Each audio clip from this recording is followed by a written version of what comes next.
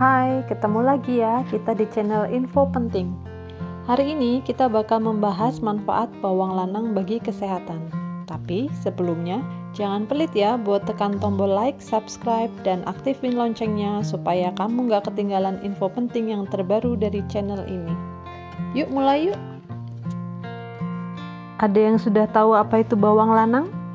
Bawang lanang atau bawang putih tunggal adalah bawang yang dalam satu wadah kulit bawangnya hanya terdapat satu siung saja di dalamnya.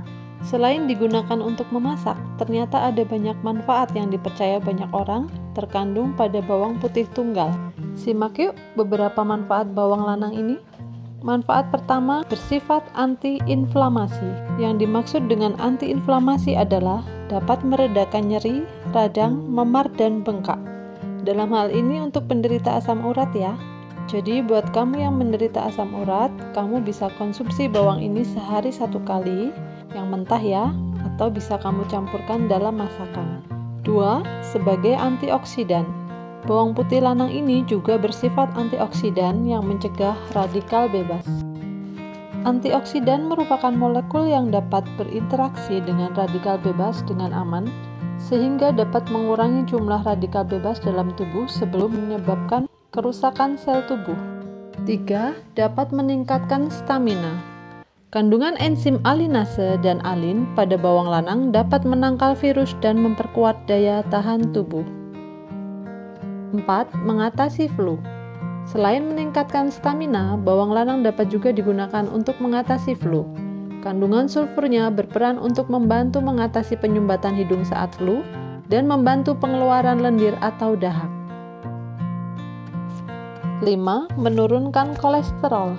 Jika kamu rutin mengkonsumsi bawang lanang ini, bagus pula untuk menurunkan kadar kolesterol dalam darah hingga 20 mg per desiliter dan menurunkan kadar trigliserida. Tahu ya trigliserida? Trigliserida itu lemak-lemak yang tertimbun di dalam darah kita. Nah, bawang lanang ini jika dikonsumsi secara teratur dapat membantu mengatasinya. Hal ini dipengaruhi oleh kandungan alisin dalam bawang lanang. 6. Mengatasi tekanan darah tinggi.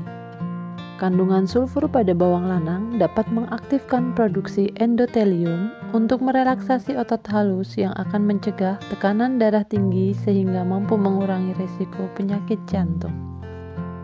7. Mengobati sakit gigi. Kalau kamu sedang sakit gigi, tumbuklah bawang lanang atau bawang putih, lalu letakkan pada gigi yang sakit.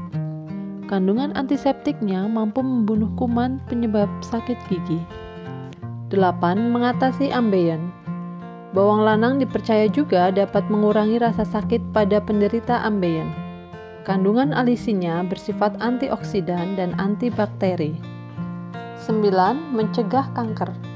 Bawang lanang juga mengandung organosulfida yang dapat membantu kinerja hati untuk mengeluarkan berbagai racun dalam tubuh termasuk racun penyebab kanker perut dan kanker usus besar. 10. Mengobati jamur kulit seperti panu. Senyawa sulfur pada bawang lanang dapat mengatasi panu pada kulit. Caranya, bersihkan area kulit yang terinfeksi, lalu oleskan bawang putih yang sudah dikupas. Oleskan dua kali sehari pada kulit yang terinfeksi. Dari semua hal baik yang terdapat pada bawang lanang, ada baiknya sebelum menggunakan atau mengkonsumsi bawang lanang ini, konsultasikan dulu kesehatanmu pada dokter langgananmu ya karena kondisi kesehatan masing-masing orang berbeda-beda. Menurut beberapa sumber, bawang lanang ini juga mempunyai dampak negatif pada orang-orang dengan kondisi tertentu. Misalnya, menyebabkan ketidaknyamanan pencernaan seperti kembung, diare, dan nyeri perut. Orang yang mengkonsumsi bawang lanang pada saat kondisi perut kosong dapat menyebabkan mual, muntah, dan mulas. Menimbulkan masalah lambung. Bawang putih juga dapat menyebabkan GERD atau penyakit gastroesophageal reflux, yaitu naiknya asam lambung ke tenggorokan.